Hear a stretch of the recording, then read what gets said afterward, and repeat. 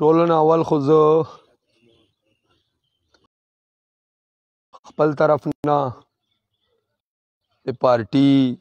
مشرانو له طرف نه د پارټي ورکرانو له طرف نه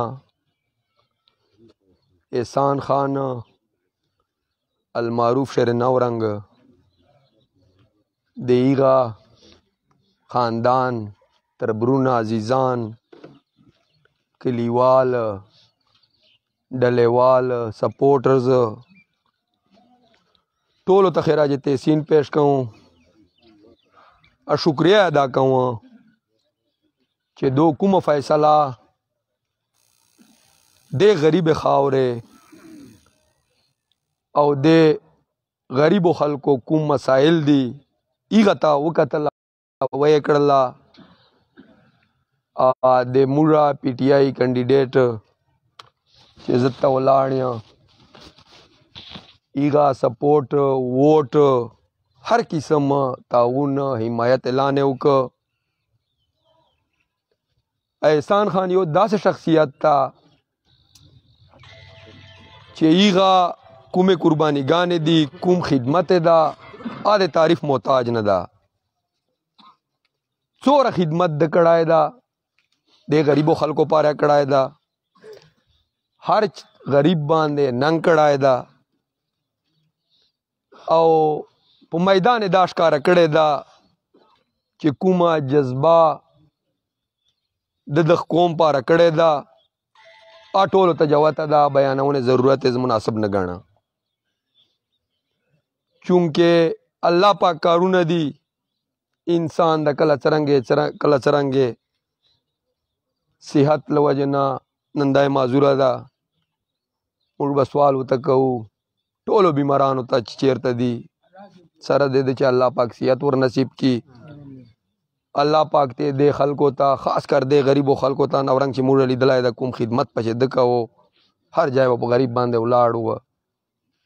خپل وس نه چې چور کې دل ایغه نه زیات کړی دي نو الله پاک نه دا سوال کوو چې الله پاک ته صحت ورکی بیا غشای دې خلکو خدمت توفیق ورکی ورونو دا فیصله چې د کړې دا خبره خو دې باندې وسللې د تبا دا نور کاندیدټ راغلی راغلی موږ هم تر راغلی ولولو علما نه بیا زیات څو کسان دي چې هغه کوشش کړای دا د تپته هم دا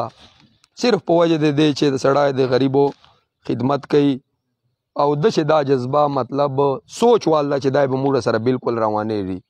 داود خان دا کمال خان دا د ویل چې مان کمال خان نام پاته سته بیا واخلای غ ما سره ډېر خبرې کړې دي راغلای دا کوشش ور باندې کړای دا نو د بیا چې کوم سوچ تا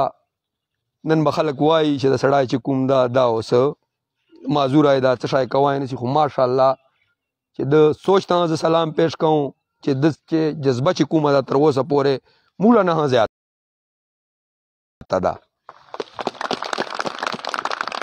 از خپل طرف نه خپل پارټي طرف نه عادت دا یقین دهانی ورکوم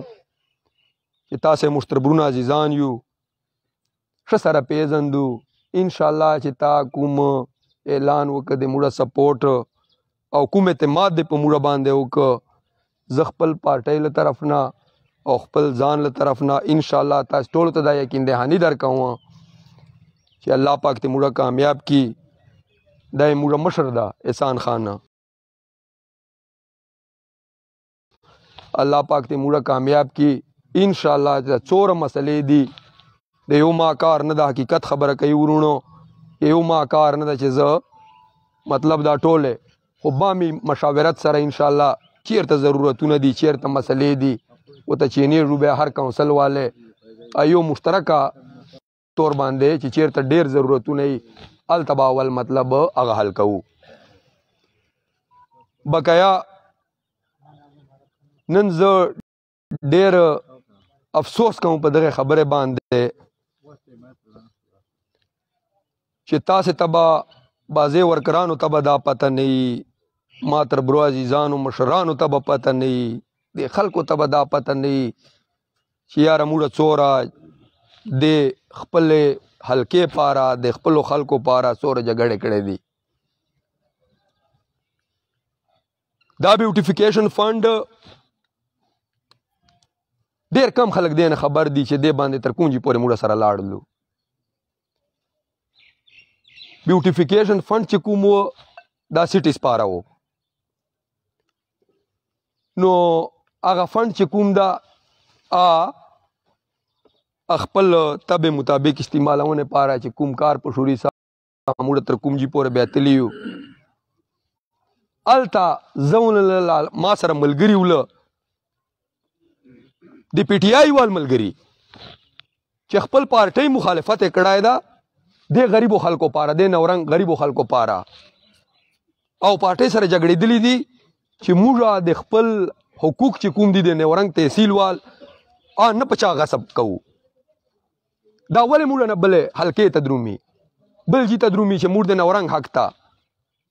الته خو د دغه تحصیل وال هیڅوک نه ول د خدمت وال نن دا وې کوي موږ به داسې وکړو داسې به وکړو چې ژغه کړه وې کني دوه پر خو ډېر شاغه وا موقع ولله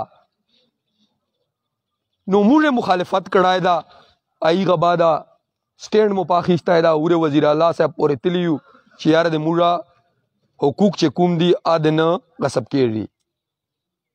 د نورنګ حق ته نورنګ ته ملاو سي نن وز داسې یو ماحول جوړ س پرون نه چې دلته یو کاندیدټ اعلان وسه د حمایت یو خلکو خپل کاندیدټ نستا د پارټي والا خو یو بل کاندیدټ سپورټ اعلان وک وس چې کوم دلته د موږ حلقې خلک دي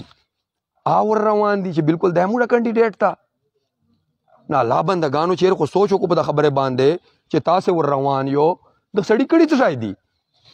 خیراتی پریشر پمپونه چې کوم دي د غریبو خلکو حق ته ځای په ځای بمبه ولګولې دته خدمت وای خدمت خو ته وایي کنه چې یو اجتماعي مسله راواله ټول نو رنګ مسله ولله کروڑونو روپۍ فند و په کار دې پیغه باندې د سړی چیک سلام لکنه الته موږ ولاړو په دې میدان باندې چا دا سکړی دي تاسو ماته یو کس روښو چې خپل پارټي چې مخالفت کړای چې نه دا کار ټیک نه کېږي لګیا دا هر سړی مطلب حکومت سره چلے دي چې یار حکومت پاس څه وایي